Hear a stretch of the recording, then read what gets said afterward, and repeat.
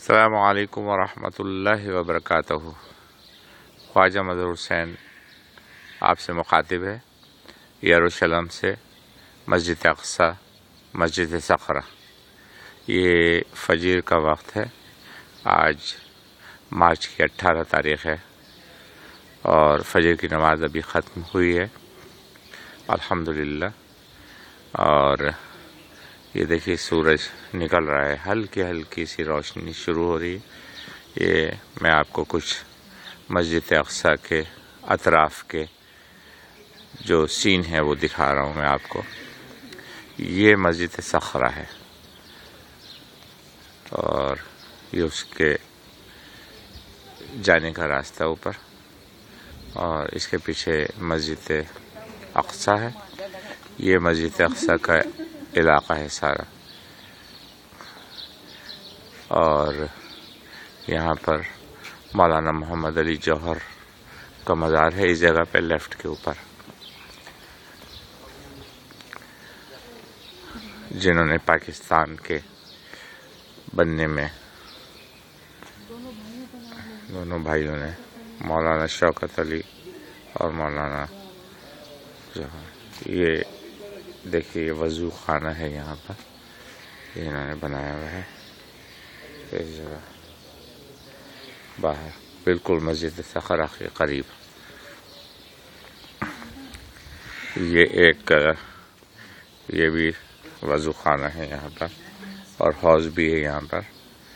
یہ سامنے پھر آپ کو دوسرا سین دکھاتا ہوں، مسجد سخرہ کا۔ خوبصورت سین۔ الحمدللہ۔ آئیے۔ ادھر آئیے، یہاں پر۔ اس چلو۔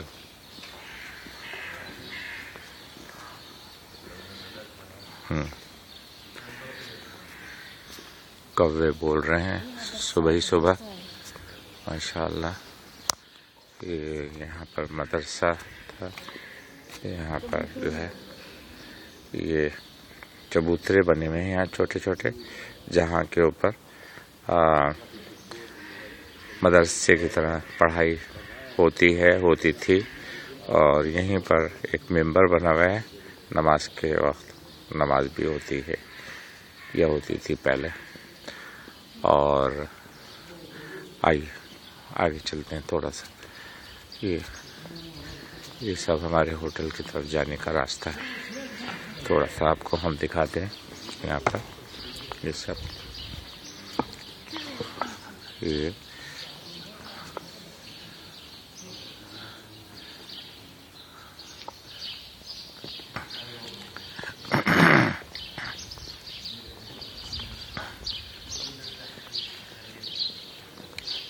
یہ گلیوں میں جانے کے راستے ہیں۔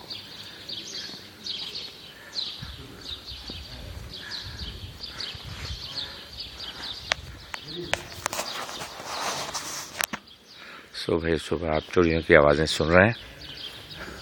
ماشاء اللہ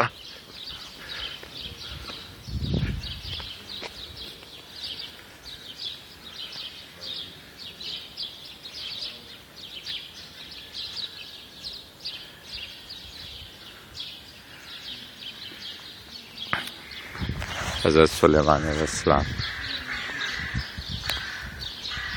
کی قبر ہے، مسجد اقصا کے قریب، اور بی بی مریم کا حجرہ ہے مسجد اقصا کے بیسمنٹ۔ یہ دیکھیے، مولانا محمد علی جوہر۔ یہاں پر دفن ہے بیچ والی قبر ان کی ہے۔ آئیے، اب چلتے ہیں یہاں سے۔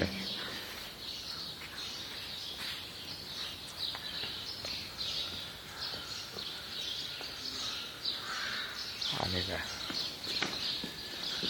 یہ کوریڈور ہے۔ یہاں کا جانے کا راستہ باہر گلیوں میں۔ پانچ منٹ۔ یہ کیا؟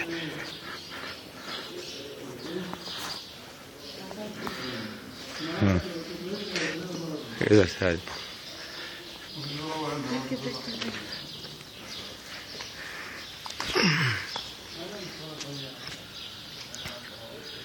بیوٹیفل سین نظر آ رہا ہے آپ کو یہ سورج نکلنے کا۔